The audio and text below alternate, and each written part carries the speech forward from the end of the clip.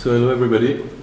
Um, thanks for welcoming me here. I'm really happy to be there uh, in the US to show some of the stuff I was working on.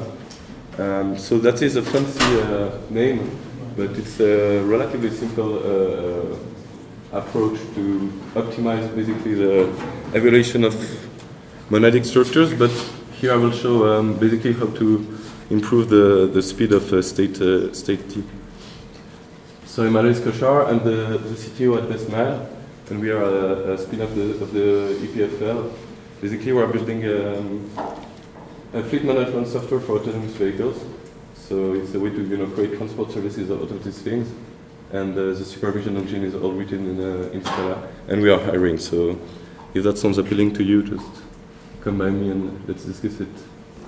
So what's the problem I'm trying to solve here? It's, um, it's basically if you if you have a big list of things and you want to you know apply a, a, a transformation with a monad in it, um, like for example you fold in the list and then you, you know you do a lot of state operation in it. Uh, basically you will uh, you will uh, Stack Overflow, right? So why this? You know, it's fundamentally it's because uh, we want non-strict evaluation because we want to be expressive. At least I want non-strict evaluation. But the model of computation we use to express this computation um, is quite different from the one that the machine used, you know, to, to run this computation. That's basically because, you know, we use this lambda calculus, but we're running this thing on Turing machines, right? So fundamentally, that's the core issue. How does GHC, um, the Haskell compiler, solve uh, this problem? Well, basically, it used an intermediate language called the STG, and um, so I won't go into details into how it works. There was a great paper from uh, Simon Peyton-Jones which explained that. But basically, um, that STG then converted to a sort of C language, where at runtime it has a tail call elimination. And so other Scala, uh, Scalaz solve this, because as you know, just a sad reminder, but there's no tail call elimination of the, of the JVM. So I would say basically that's how uh, uh, Scalaz solve it. which is basically uh, using a trampoline, right? Um, so what is a trampoline? It's a, it's a free uh, uh, interpreter of a Function0. So basically you postpone the evaluation of your stuff, you put it in, a, in, in free, and thanks to how free is, uh, is written, you, you, you will get a stack safe evaluation. Um, in our case, we can specialize a little bit more. Uh, basically, we can get a free of, um, of state t, and um, and you know, so basically you will have to write your code like this. Um, you just have to liftF, right, to, to, to lift uh, your, your state into free, and then you can evaluate it at the end, and it will be a, a stack safe. The only problem is that free is not free, and there's a great uh, talk from uh, Kelley Robinson, um, which shows that really nicely. Uh, I mean, in order to evaluate this with free, you have to create a lot of structure, um, that you will use a lot of memory, and uh, I mean that will be slow uh, at runtime. So that's quite a problem if you want good performance. So can we do better? Is there a way to, to you know, to make things better? Uh, yes, but first we have to give up on, on, on being evaluation strategy agnostic. What does that mean is that you have um, a single monad and depending on how, if you evaluate it with ID or if you evaluate it with, for example, in Cats with eval or in Scala with trampoline, um, basically it will be a, a lazy or not and, and, and stack safe or not. So basically we'll have to give up on this. We'll have to specialize our, our monads. And actually we have to accept the unreasonable effectiveness of erasure. And so we'll have to use the evil uh, asInstanceOf. So So let's see how, how, how, we'll do that. So maybe there's a way to avoid the asInstanceOf, but uh, we'll discuss it later. So what we'll do is that we'll define uh, uh, two types, val, which is just a helper to do the casting verification um, in a little bit safer way, and uh, another type which is thunk, which is just a simple algebra to do the, the evaluation. Uh, then we'll rewrite state table this.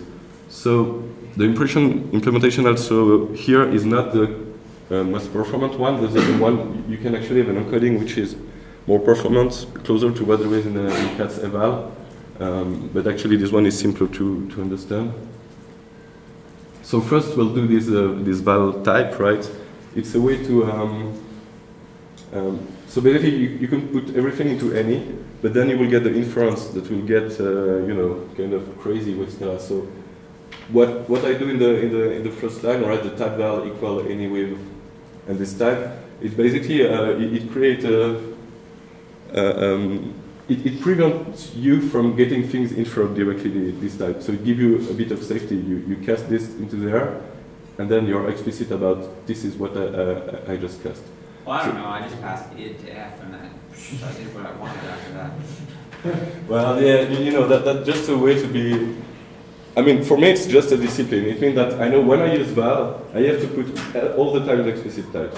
So you know that's what I'm saying here, security by convention, but it's not security. It's just a way for me to know, okay, I'm, I'm working in, a, in, the, in the crazy world and you should be careful.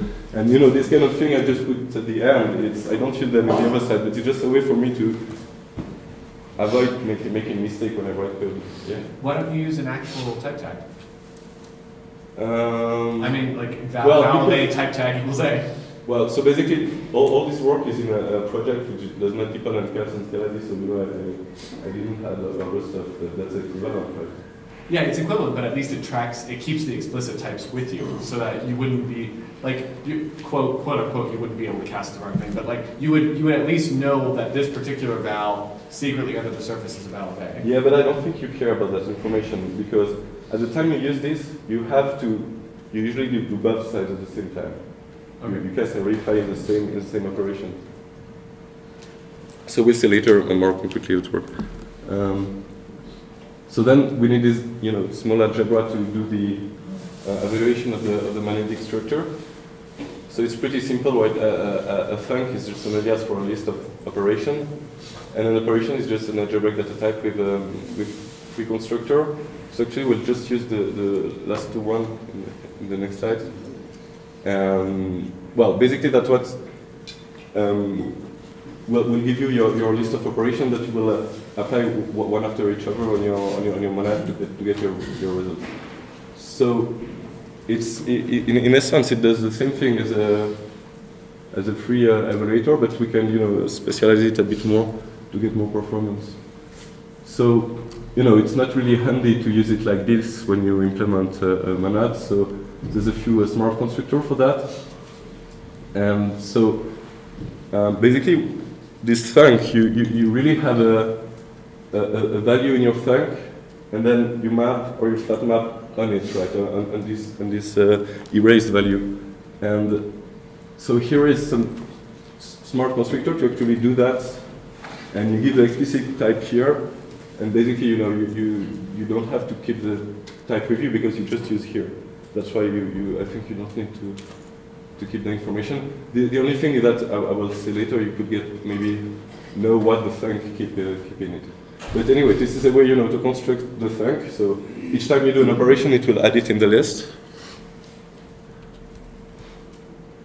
So now let's see how we can um, re-implement uh, a state T uh, using this. So first, how is it usually written, right? Um, so you have in the case class, so this is taken from Cats. In the, in the case class, you have the, the value, the monad with inside the, the state function, right? And, and, and, then when you flat map, you basically create a new uh, instance of, of, of, state and you, and you chain the function together. And that's basically what Stack Overflow when you run it, right? Because you create this big uh, stream of, uh, flat map. So now let's see how you can implement it with this. So it's a bit ugly, right? It's not so nice when you, because you, you, you are working with this uh, erased uh, thunk, so you have to be explicit with the types every time you map. So maybe that's here, or you could keep the, the type information, you know, so you don't have to, to do this. So basically now state T, you know, the type is erased, you just have this thunk here. And it's, wh wh when, you, when you map or flat map on it, you basically, you know, say which type it will be at the end, and, and, and then it will be refined and, and, and erased. So surprisingly, this goes pretty fast, right, on the JVM, because the, the verification process is, is a, yeah, is, is not a so costly uh, operation. Um, so here is just how we implement, you know, the, the pure and state So, you know, it's like you have to map on the thunk, right?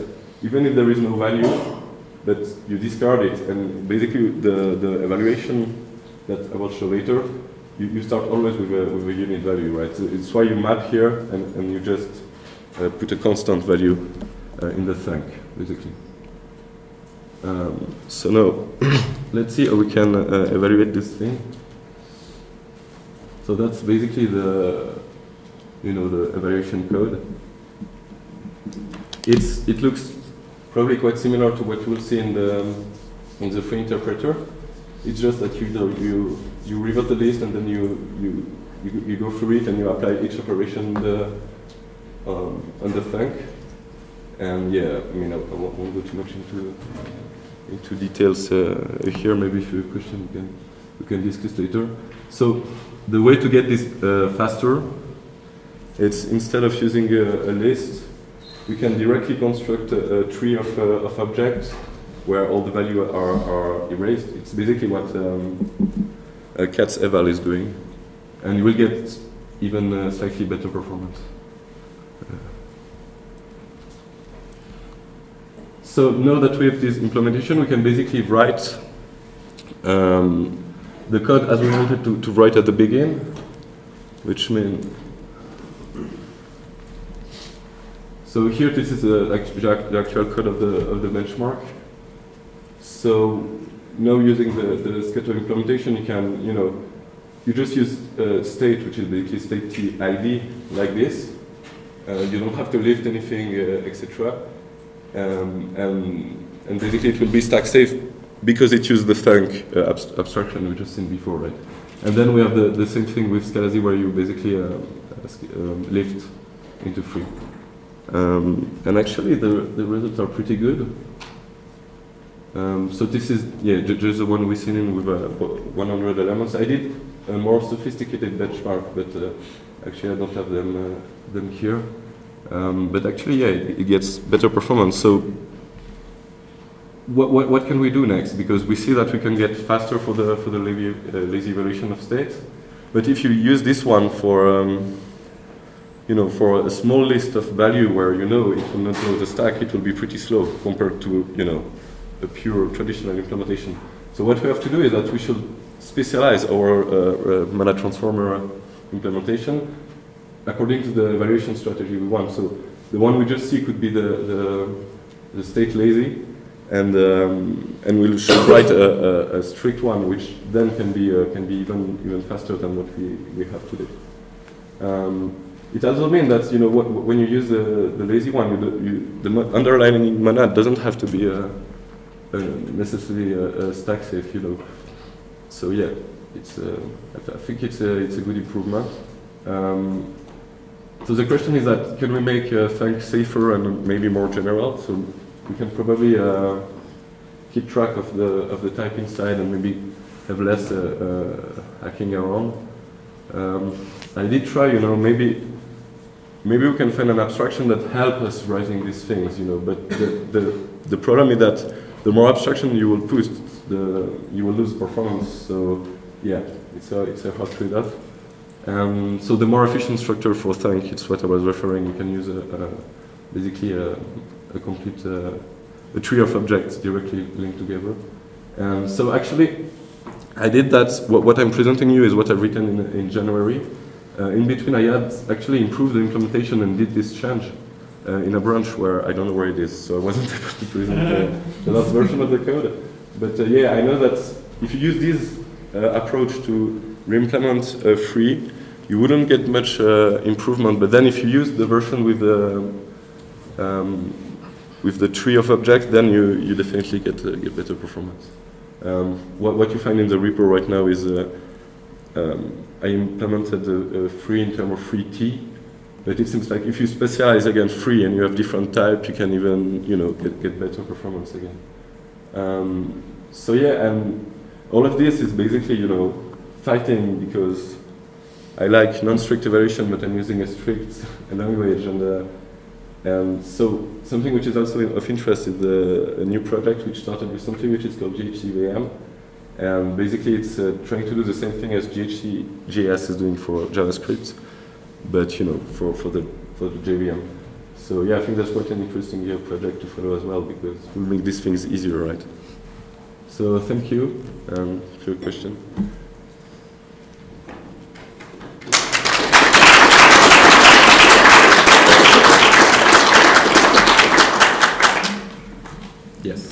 Seems like it would be, I mean, if you wanted to, to make this a little bit more exposed, like for example, as a, as a replacement for, you know, Scalaz.free, Yeah. um, it seems like it would be possible to uh, make it reasonably pleasant to use by number Yes. one, having the tags track Yeah. the types, and number two, maybe throwing some implicit macros on there, or, or some macros in- Yeah, with yeah. implicit syntax. No, definitely. I, I just kept, you know, away the polishing to, you know, be sure that the, the thing works nicely. But definitely, I mean, the way Thunk is right now, uh, you know, it's pretty inconvenient. It's really Yeah. boilerplate to write. So we can probably. And anyway, you know, it's kind of the philosophy of Scalaz. It's we write the boilerplate so you don't have to write it. So that I know, yeah.